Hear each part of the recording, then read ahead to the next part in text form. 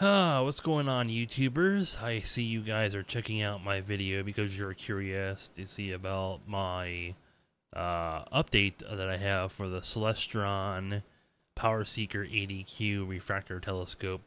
So I've had this thing for about a day now, and uh, I did my first video, and I was telling you guys about how it was a little, little complicated to set up, and the pros and cons and stuff like that, and I showed you a little bit of little amateur uh, stuff, and I'm still still getting used to it. I, I, I, think I'm getting a little used to it. Um, so I wanted to go into a little rant. So hopefully you guys are, are in for our, or have nothing better to do than listen to me rant about this telescope. I'll show you guys some stuff that uh, it's not the greatest. I'm actually working on getting some new equipment now uh, for astronomy, so I can um, enjoy the stars and planets a little better. Um, so I'm gonna probably look into getting a different lens. Um, so the good news is I got to see Saturn finally. It was, it was so so real. Like eh, for many of you guys that probably um, have never experienced seeing the planets before, it was pretty cool. It, when you finally get the telescope aligned um, and you hit onto the planet and you see it for the first time from your eyes. I mean, you've seen pictures of it, you've seen TV shows probably of the planets and stuff. But when you when you actually zoom in and you see the planet for the first time, it is absolutely spectacular. It's amazing. It almost reminds me of these little tubes that you could get as a toy. Um, there were these little little toys that had, were like a little scope, and you would twist them, and you would see like little little figures inside of the tube is what it was like. So I don't know if you guys remember those old toys and stuff, or ever had any of those toys where you could see like the the little figures and little colors when you would tighten the tube. It would have like these crazy colors, or it would have a figure in it. So it was basically like that. Um, I had to stay up till about four o'clock in the morning. Uh, for Saturn to pass over my area where I'm at. So apparently, the we do actually move, and the planets do uh, finally come into a a sight of view. Apparently, I, I, didn't know if that would happen or not. Um, but I, I, got a new app. I got an app uh, that tells me where the planets are around me. So you simply take this app called Sky Map, and you you use it on your Android phone, and it uses GPS to tell where the planets are and where you are. And you just aim it towards the sky where you are, or where you, or aim it up in the air and it'll show you what's around you. And as you rotate yourself around, um, you'll basically see the planets and stuff. And, and it's pretty accurate too. Uh, surprisingly, it, it, was pretty much dead on with the moon where I was and stuff. So it was pretty cool to, to, to have an app like that for us newbies who who don't know where our planets are and stuff in the sky. Um, so that was kind of cool. Um, so um, yeah, I need to get some stuff for my uh, my astronomy. I'm, I'm, gonna be spending. I'm just spending ridiculous amounts of money on stupid things, but it's cool. You know, it's cool to have them whenever you need them. Um, if I ever sell it, somebody's gonna make a killing probably on, on the amount of stuff that I'm buying for my telescopes and stuff.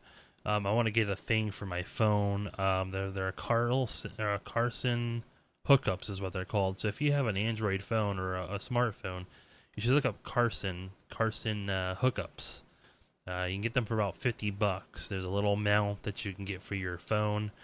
And what it does is it takes your phone camera, as you can see right there, my camera is right there, and it aligns with the little mount, and you and it has like a little clamp that clamps onto your eyepiece of your telescope, and then this phone sits on the little mount, and your lens in your eyepiece or your your little camera goes over your little eyepiece onto your telescope, and then it's perfectly aligned, supposedly, is what they sell it as. I haven't tried it out yet, but look forward to that video. I will honestly tell you whether it's a piece of crap or whether it's really good or not. Now, personally, I've tried using the Nexus 6, which is what I'm using to record uh, footage, and now I got some pictures and video of the moon. It was pretty good this time. It was some pretty good quality. I'm pretty impressed. I got about 30 seconds of really pretty good quality of the moon surprisingly, um, and it was pretty great. Uh, now, my picture of Saturn really isn't the best. It's actually going to be really disappointing to a lot of you guys when you see it.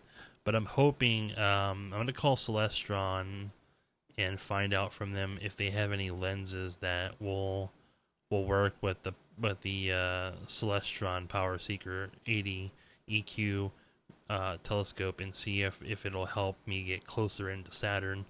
Uh, when I was looking at it, it was it was smaller. It was about as small as my pinky, so you guys can barely see my pinky, and that's how small it was in the in in the camera or in the in the picture and on the uh, telescope. It was it was that small. So you know it's pretty small. It's really disappointing for a lot of you guys when you see it. You're gonna be like, oh, that's pretty sad.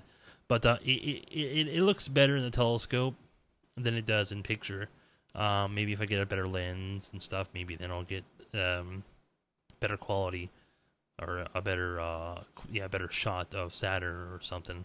Um, but it really does look amazing. Um, I got some nice views of the moon tonight. It is actually um, it is actually uh, April fourteenth, twenty sixteen, and um, it's just about ready to go on midnight now.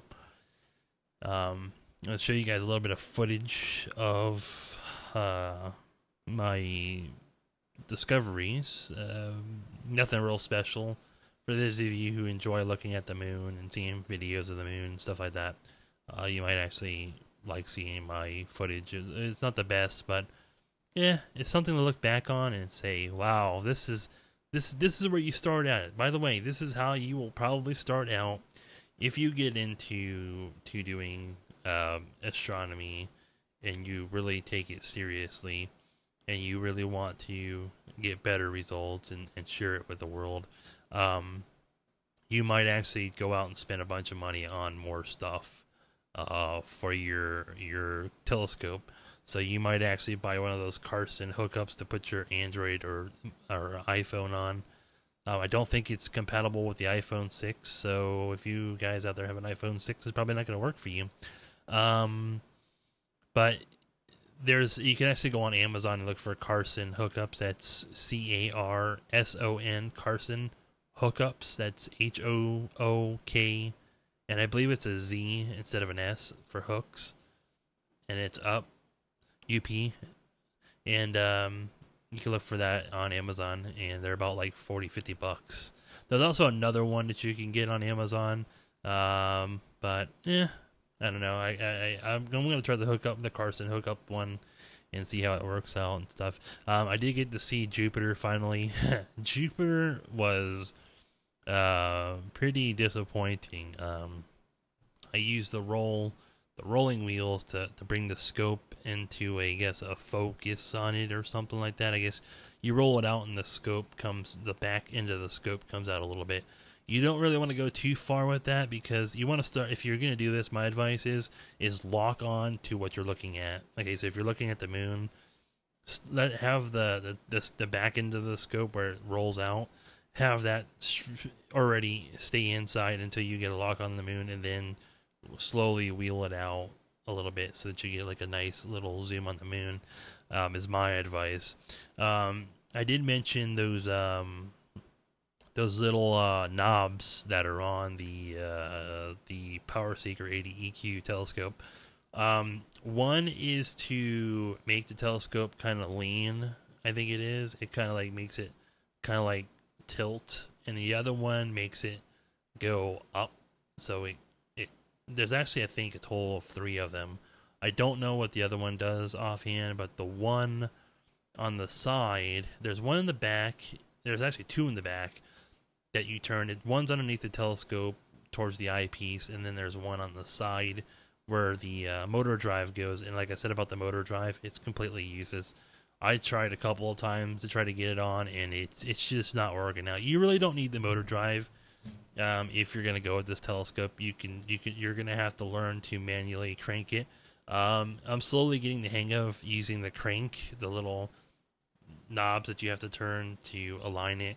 There's a there's a there's a piece at the back of it. There's actually two at the back. There's a little um oh god, what is it? It's like a like a little wrench thing that you have to turn it and it makes the, the telescope so the telescope will be like this and then as you turn the back piece it, it makes the telescope rise up in the air so that it'll it'll do like a 90 degree turn and you got to be careful because I kind of broke mine at the.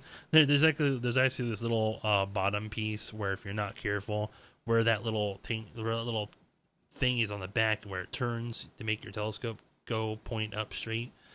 It it will it will fall backwards, and there is a thing underneath it that will break, and mine's already cracked thanks to me uh, doing that because of the weight of the uh, the weight on the front of it. So when it leans back, it actually hit pretty hard underneath, and there's this thing under that that broke or that actually cracked, which is kind of sad.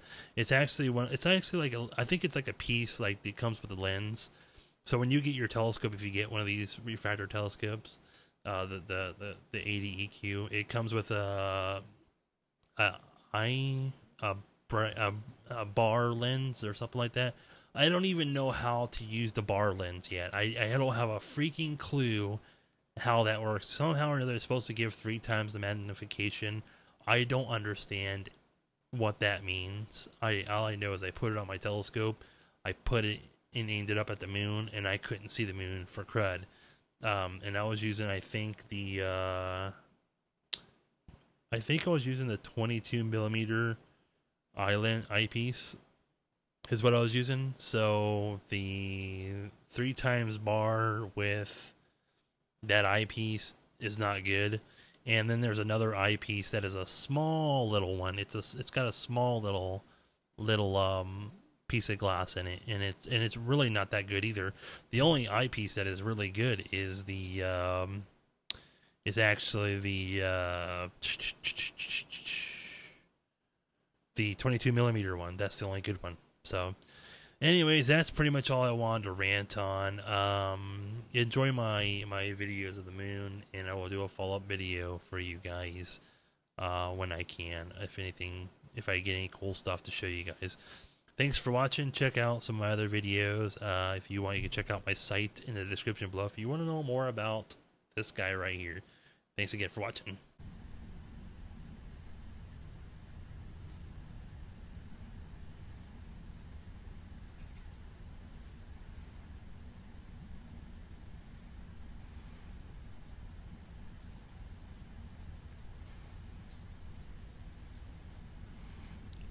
That's the moon.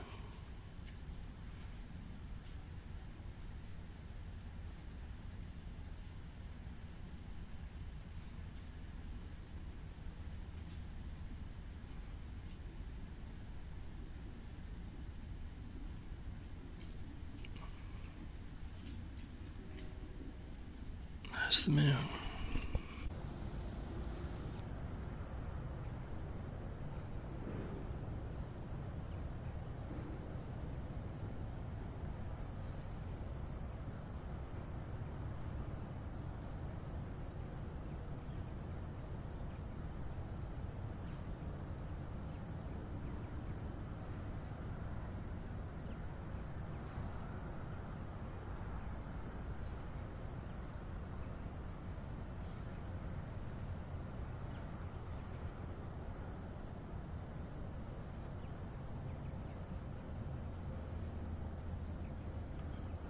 That's Saturn.